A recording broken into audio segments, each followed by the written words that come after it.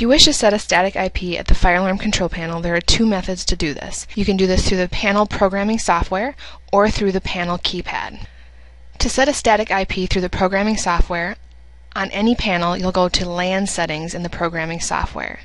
From LAN settings, you'll click Use Static IP and you can fill in the information for the IP address, the subnet mask, the default gateway, and the DNS server. This information can be obtained from your network administrator.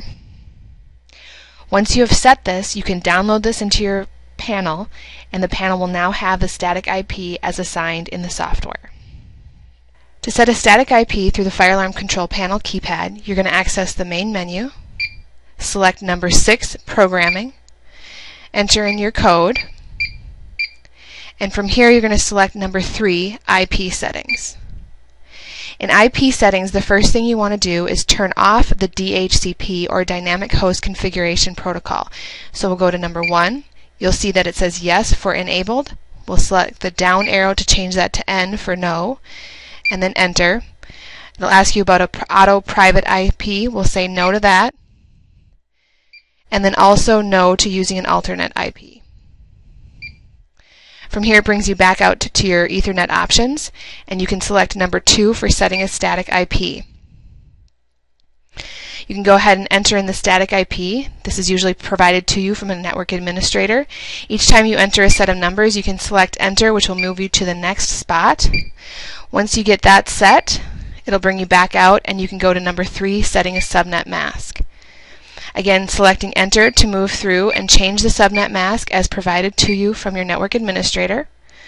Once you're done with that, you can go to your default gateway, which is number 4, and go ahead and enter in your default gateway.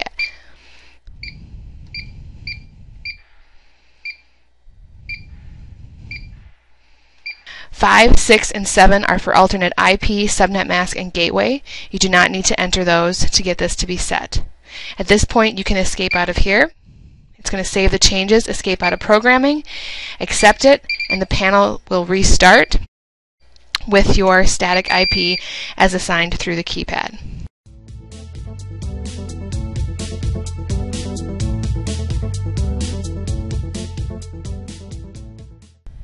When the panel restarts, it will initialize and it'll find that IP address as you've assigned to it and show you that as long as you have a network connection or some connection to the PCOM port. If I wanted to check the other settings, I can go to my main menu. I can select number 5, System Tools, enter in my code, and then number 3, Ethernet Tools, and from here, Ethernet Status. This is going to show me the IP address, the subnet mask, and I can scroll down to see the default gateway and the DNS server.